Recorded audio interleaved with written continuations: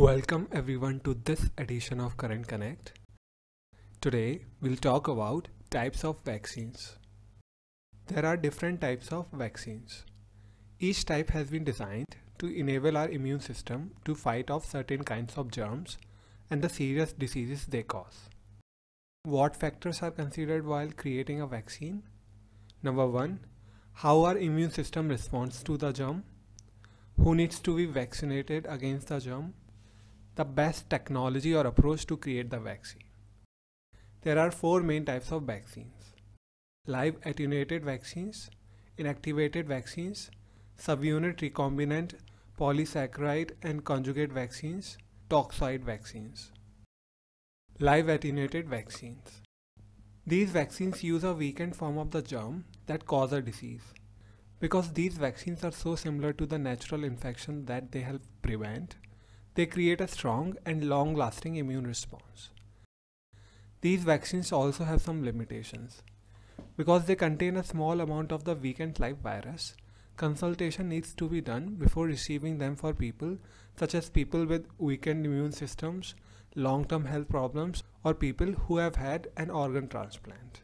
They need to be kept cool. That means they cannot be used in countries with limited access to refrigerators. Live vaccines are used to protect against measles, mumps, rubella, MMR combined vaccine, rotavirus, smallpox, chickenpox, and yellow fever. Inactivated vaccines. Inactivated vaccines use the killed version of the germ that cause a disease. Inactivated vaccines usually don't provide immunity as strong as live vaccines. Several doses are needed over time in order to get ongoing immunity against these diseases. Inactivated vaccines are used to protect against hepatitis A, flu, polio, and rabies. Subunit recombinant polysaccharide and conjugate vaccines.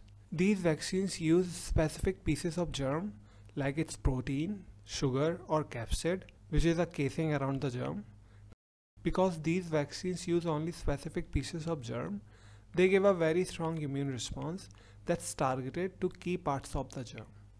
They can also be used on all kind of patients including people with weakened immune systems and long-term health problems. These vaccines are used to protect against Hib, Haemophilus influenza type B disease, hepatitis B, HPV, human papilloma virus disease, whooping cough, pneumococcal disease and meningococcal disease, and shingles. Toxoid vaccines. Toxoid vaccines use a toxin made by the germ that causes a disease. They create immunity to the parts of the germ that cause a disease instead of the germ itself. That means the immune response is targeted to the toxin instead of the whole germ. Toxoid vaccines are used to protect against diphtheria and tetanus.